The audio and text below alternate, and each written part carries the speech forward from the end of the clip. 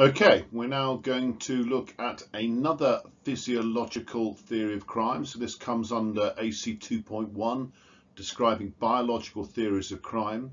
Once again, I'm going to also bring in AC 3.2, which is to evaluate the theory, and also AC 4.1, which is going to look at how the theory informs policy development. And we are going to look particularly, we've already looked at the physiological theory of Lombroso, and now we're going to look at the physiological theory of Sheldon. So it's a biological theory. Again, it's physiological. So biological theories basically believe that criminality, criminal criminals are biologically different from other people's. And, it, and it's this difference, this biological difference that causes them to commit a crime. And we're going to look at the physiological theory of William Sheldon. Again, just a reminder that physiological theories are claiming that the physical characteristics of criminals differ from non-criminals. So without further ado, let's look at what Sheldon said. So there he is, William Sheldon, um, 1898 to 1977. And basically his theory concerns body shape, which is known as a somatotype. I cannot stress enough that you have got to know this word for the exam. So it's Sheldon and somatotypes, and there are three different somatotypes that you need to know the names of. His theory is quite straightforward, so easy to do. Nice one to get if you ask asked about a biological theory, because it's also easy to evaluate, but technical words you have to know. So Sheldon was an American psychologist, a doctor, a physician, and he argued that criminal behaviour is linked to a person's physical form. So whereas Lombroso was looking at atavistic physical traits, he's looking at body shape more. So here his key ideas, which I'll look at in more detail as we go. So he believed that the bodily build of someone was linked to personality and temperament. So your body shape is linked to your personality and therefore linked to your temperament. And he um, looked at photographs showing the front, back and side views of 4,000 scantily clothed men. And Sheldon put forward from these photos that basically there were three different body types or somatotypes. So a body type is a somatotype. And he argued that one of these three somatotypes was more likely to engage in criminal activity. So you need to know the names of the somatotypes and you need to know which one is the one that Sheldon said was more likely to engage in criminal activity. So let's look at these. So the first somatotype is the ectomorph and here's a picture of an ectomorph here.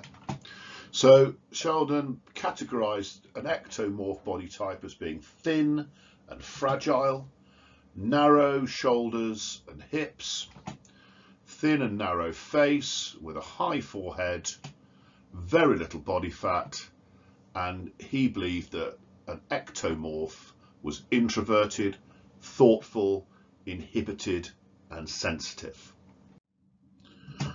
His second somatotype was the endomorph. Here we see the endomorph. Endomorphs are physically quite round they are fat and soft, tend to have wide hips, narrow shoulders, makes them have a more pear-shaped body. And he believed that endomorphs were relaxed, sociable, even-tempered and extroverted. His final somatotype was this one, the mesomorph. And mesomorphs are muscular, hard-bodied, have very little fat, have strong limbs, broad shoulders, narrow waists. They're adventurous, sensation seeking, they're assertive, domineering, and they enjoy physical activity. And Sheldon used a correlation study and he found that many criminals prone to committing violent and aggressive act were mesomorphs. So they're more likely to be mesomorphic and they are least likely to be ectomorphic. So mesomorphic is your criminal shape and ectomorphic is your least criminal shape. So here we see a classic mesomorph. This is Charles Bronson, one of the most dangerous criminals in the UK today. he would conform to the mesomorphic view of uh, Sheldon. And here we see Daniel Radcliffe, even though he's got muscle, he's still an ectomorph.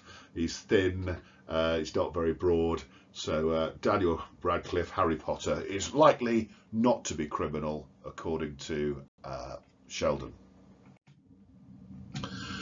So he used that sample of photographs of college students and delinquents. He rated them on a scale of one for low criminality to seven high criminality and their resemblance to mesomorphy.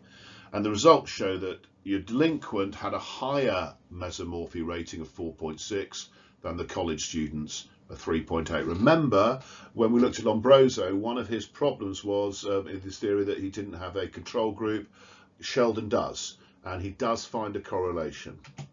So a reanalysis uh, by Hartl et al. Uh, in 1982 also found the most seriously delinquents of Sheldon's sample had a mean mesomorphy rating of 5. So this did add further support to the theory. And here we see another two classic mesomorphs, the Kray twins, violent gangsters uh, written in the 60s, 70s, etc. And um, again, they would conform to the mesomorphic trait. So that's the theory, quite straightforward, three body types, one more prone, one less prone to criminality. Mesomorph is your criminal, ectomorph is less likely to be. So let's evaluate it. So let's look at these strengths. Well, there is supporting evidence that shows an association between body build and criminality. So Putwain and Sammons in 2002 found this. Notice it is a small association, it's not everything. Nevertheless, there is a correlation. And that's good because Glueck and Glueck in 1956 found in their research in a sample of delinquents that 60% were mesomorphs, while in a non-delinquent sample it was only 31%. So there is, you know, um, Putwain and Sammons in 2002 reinforced Glueck and Glueck's findings that mesomorphy does seem to imply criminality. And it's a good sized sample that's used. Sheldon had a control condition, as I stated before, of non-offenders to compare the results uh, to, whereas Lombroso, in his, pre, in his physiologic theory, didn't have whatsoever. And it would also be true to say that the most serious delinquents in Sheldon's sample were the ones with, with the most extremely mesomorphic body shapes. So there is a link, without a doubt. How strong a link it is remains to be seen. So there's your strengths. Now let's look at the weaknesses. Glueck and Glueck found that criminality was best explained, and this is key, not by biology alone, but by a combination of biological, psychological, and environmental factors. Biological theories are saying it is all nature that leads to criminality. Glueck and Glueck found a correlation between nature and criminality, but said, hang on a moment, it's not just nature, it is also nurture. Nurture plays a point. It's a combination between the two.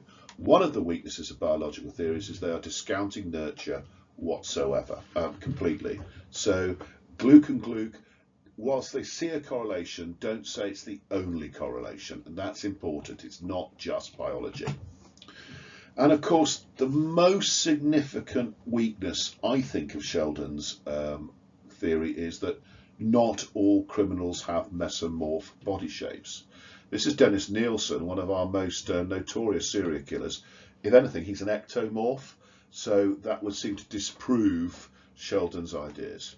So it's limited to theory. It doesn't explain how ectomorphs and indeed endomorphs can also be criminals. There's lots of ectomorphs, lots of endomorphs that are criminals. So sorry, Sheldon, there's a weakness there.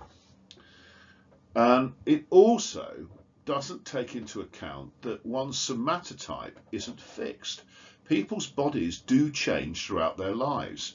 And therefore, you can argue if the body shape changed, then surely the criminality changes. So therefore, Sheldon's theory doesn't have credence. It's not a useful theory of criminality. And so on that final point, uh, that weakness that people's body shapes take uh, change over time, I give you this as evidence, nothing that I'm particularly proud of. I ask myself, where did it all go wrong? But That is me round about the age of 21 and that's me not so long ago. And as you can see, the somatotype is completely different. So that would give credence to that one weakness that I've just highlighted in the previous slide. And so for my final slide, just the last few weaknesses, it could be argued that actually the mesomorphic build is a actually it's not the thing that causes the criminality it's actually the criminality that causes the mesomorphic build. Some people have argued that criminals can actually develop a mesomorphic build because they need to be physically tough to succeed. So that would seem to imply that criminality causes somatotype rather than somatotype causing criminality and linked with that, you could also argue that social class may be linked to somatotype because um, convicted offenders tend to be in this country working class males. Working class males are more likely to be in manual jobs and manual jobs such as this one here requires athletic builds so a mesomorph body shape um, and then my final weakness you could argue that if people take on board Sheldon's theory and make assumptions about others based on appearance, well, that means that some people are going to be biased. They're more likely to be assumed to be criminals. And if those people are on juries or they're the police, that means those people with somatotypes that are mesomorphic will be treated more harshly because people are biased against them and that will be increase the probability that they will be labelled as criminal and treated as such. Hence you create a, effectively a self-fulfilling prophecy. So that concludes my PowerPoint on Sheldon. Hopefully you found it useful and I'll see you in the near future for my next PowerPoint. Take care and goodbye.